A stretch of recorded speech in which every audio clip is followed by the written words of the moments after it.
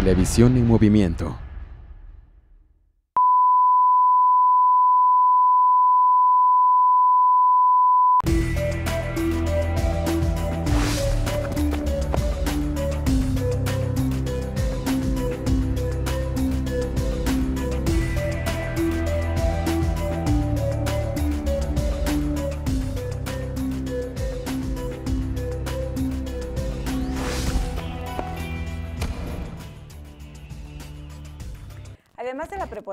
Que de hecho persiste entre la clase política de nuestro Estado, nos topamos con el fenómeno de los funcionarios que nos creen estúpidos. Funcionarios, ellos sí, imbéciles, que se atreven, porque pueden, a mentirnos en la cara, a vestirse una sonrisa y pretender engañarnos. Ahora, no solo los vemos en periodo electoral, sino que andan por ahí pululando en diversas instancias.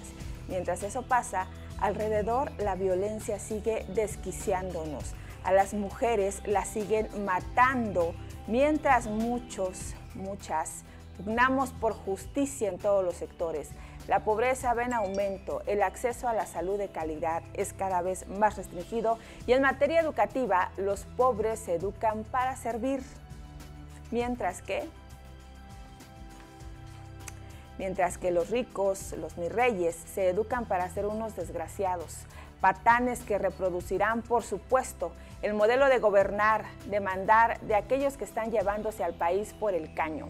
Estamos infestados de demagogos, soberbios, cínicos y claro está, de corruptos. Lo que es peor, asumen que la prensa debe prestarse a su juego.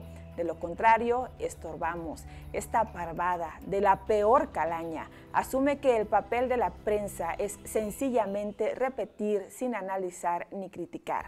O criticar sin intentar incidir en los asuntos de fondo hasta sacudir lo que se necesite sacudir del país.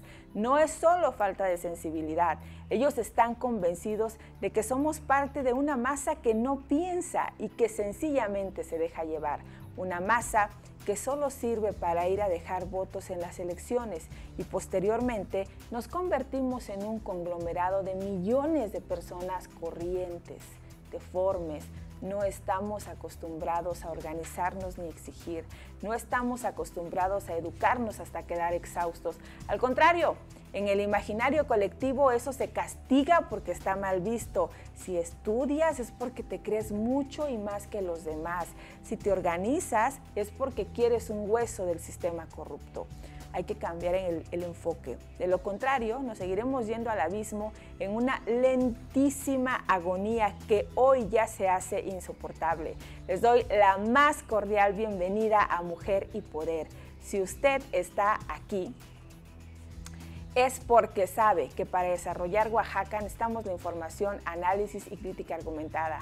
Muchas gracias. En las efemérides antes de la cortinilla, un 26 de junio, pero en 1811, son fusilados los insurgentes Ignacio Allende, Juan Aldama y José Mariano Jiménez, caudillos del movimiento de independencia. En 1910, Porfirio Díaz y Ramón Corral son declarados presidente y vicepresidente de México para el periodo 1910-1916. Como usted sabe, esto no llegó a su término. Hoy también es el Día Internacional en apoyo a las víctimas de tortura. Vámonos a la cortinilla.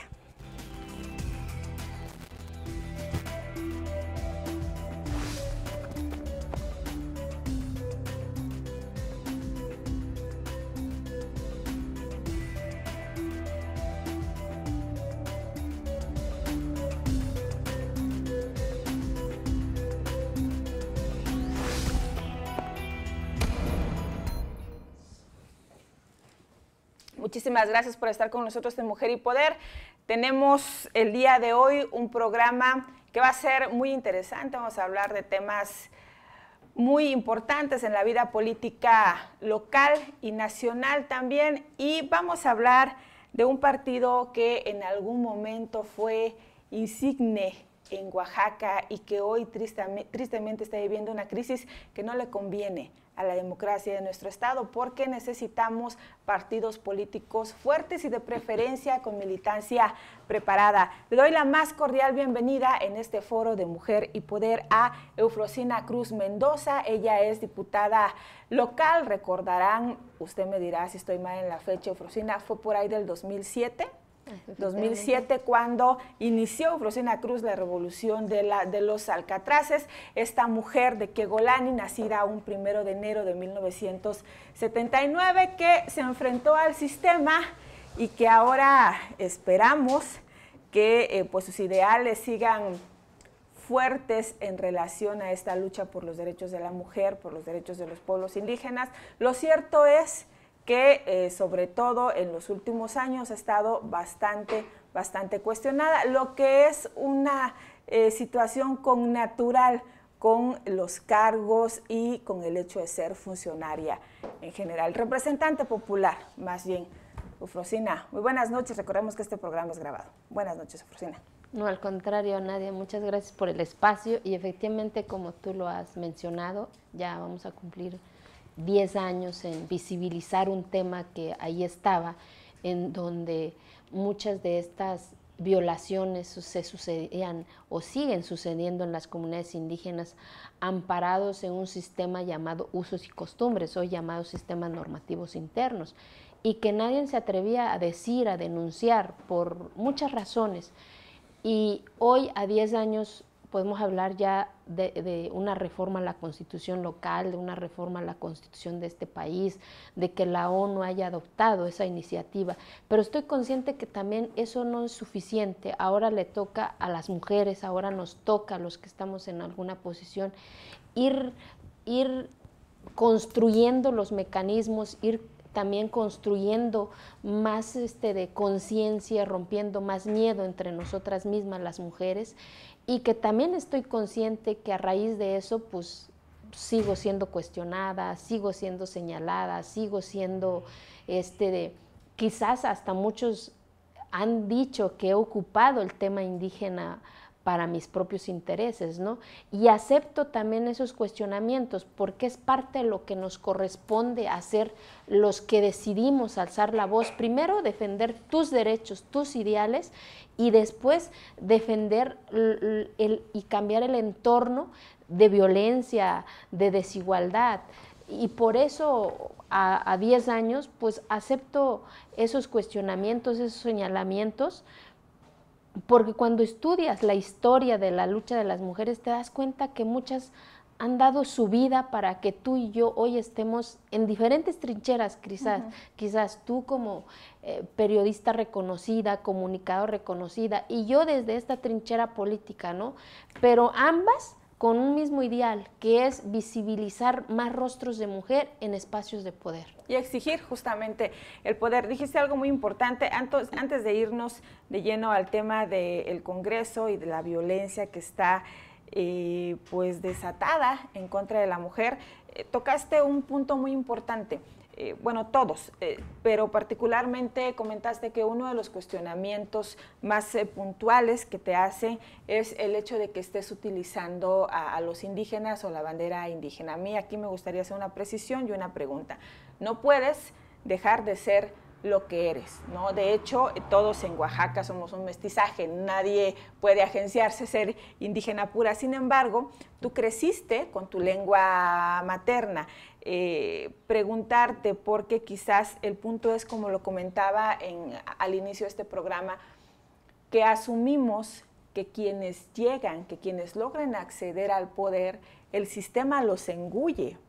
Y no se trata quizá tanto que eh, cuestionemos que se está utilizando la bandera de los indígenas o en algunos otros casos la bandera de la mujer o cualquier bandera, habido y por haber, sino que asumimos que a la hora de llegar a un puesto de poder se vuelven como los demás. En algún momento nos lo decía en este mismo foro Raimundo Carmona, criticamos cuando no estamos. Cuando estamos, pues no nos queda otro remedio que acostumbrarnos al poder.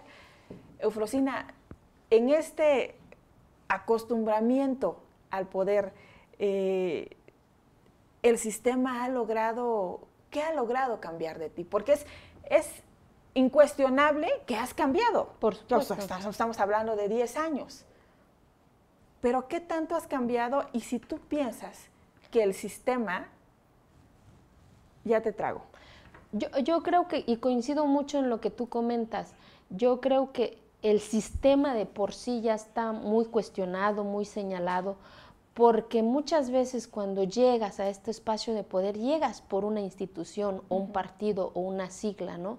Y ahí es en donde está el reto uno como persona y lo pueden constatar y lo puedes constatar. Eh, me tocó vivir en una legislatura tan compleja, yo creo que fue en la Diputación Federal, en donde se debatió el tema del Pacto por México, y ahí están la forma en que yo voté, o sea, más allá de que la cúpula de, la institución a la cual yo pertenezco votaba a favor eh, eh, de cierta forma algunas iniciativas, yo, Frosina, voté como yo consideré que era importante, ¿no? De acuerdo a tus ideales, de acuerdo a lo que crees, a lo que estás convencida. Es bien complejo ser y opinar diferente en un sistema político en donde hay acuerdos cupulares, en donde se siguen las reglas. Y yo creo que por eso hoy el sistema político, y lo he dicho, necesita más ciudadanos adentro, necesita más ciudadanos que vayan y que no se pierda sus ideales ahí. Que no se corrompan con e, toda e, la porquería que hay. Efectivamente, pero yo creo que hay mucho miedo adentro también de los partidos políticos, de los que hoy ostentamos una posición. Hay mucho miedo porque si tú votas diferente a, pues si tienes eh, este, de objetivos de seguir en carrera política, pues te detienen, por, te amenazan. Entonces, por eso yo creo que hoy la ciudadanía tiene que retomar más espacios dentro de las instituciones de partidos políticos. Por supuesto que ha he cambiado. ¿En qué sentido? No he perdido mi esencia como eh, mujer indígena y no porque, como ellos dicen, pareciese ser que el ser indígena en este país y en este estado es ser pobre, es agacharte, es pantalón de manta, es con tu mandil, porque luego así nos sacan en caricatura con tu mandil, con tu guarache, y no como visualizar al pueblo indígena como una población con capacidad también de aportar para el desarrollo de este país y de este estado. Y lo único que se, requiere son generar oportunidades, oportunidades de educación, oportunidades de salud. Y yo creo que ahí he cambiado en decir a que no me juzguen como yo me vista, sino que juzguen lo que yo estoy haciendo lo que a lo mejor con mis aciertos, con mis desaciertos, porque soy persona también, soy lloro también, sufro también, me río también, pero, pero sigo siendo Frosina con una mamá, con un papá que vive en Kiegolani, eh, que no ha perdido su lengua indígena, pero he cambiado en decir, no por el hecho de ser indígena, sea menos o sea más. Lo cierto es que el sistema también te obliga, ¿no? A, integrarte, porque es decir, puedes ser rebelde, que lo eres, hasta cierto punto, pero tampoco puedes cuestionar absolutamente todo el sistema. Por cierto, ya nada más antes de irnos a corte, recordarle a la diputada Frosina Cruz algo que a lo mejor no le gusta mucho, Usted llegó a su primera diputación local de la mano de Gabino Cue Monteagudo, de la mano de esa alianza que despertó tanta expectativa y que actualmente nos duele a los oaxaqueños, no porque el PRI se haya ido, bendito sea Dios que se fue el PRI, porque necesitábamos un respiro de eh, ese sistema tan autoritario y tan, soberbio. El tema es que las expectativas que levantó Gabino Cue pues se quedaron sencillamente en el aire. Nos damos un corte, regresamos.